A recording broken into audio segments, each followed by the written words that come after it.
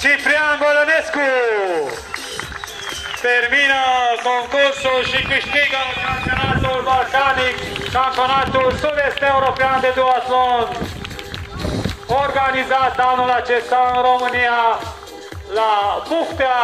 Mulțumim în acest caz și clubul